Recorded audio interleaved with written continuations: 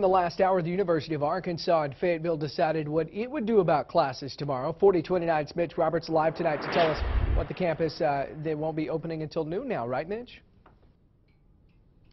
That's right, Daniel. The snow still coming down here in Fayetteville. They just got done with a conference call less than an hour ago that was led by the provost of the university, also officials from the university police department, and even from facilities maintenance. Key campus leaders all coming together to decide if it was safe to start school on time tomorrow. In the end, they decided to have a delayed start tomorrow. What will happen is they will open up campus offices at noon. The first classes won't be until 1230.